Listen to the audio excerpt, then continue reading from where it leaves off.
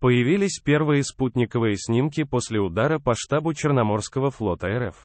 В сети опубликовали первые спутниковые снимки после удара в СУ по штабу Черноморского флота России в оккупированном Севастополе. Об этом сообщает РБК Украина со ссылкой на Крым.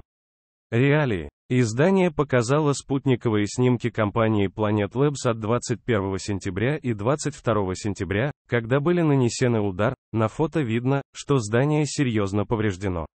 Дым и повреждения заметно даже из космоса. Удар по штабу в Севастополе.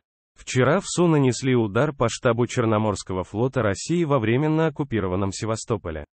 Стратком в СУ подтвердил успешную операцию, а силы спецопераций сообщили, что удар был нанесен, когда в штабе проходило совещание командования российского флота, как утверждают СМИ, военные использовали для удара ракеты Storm Shadow.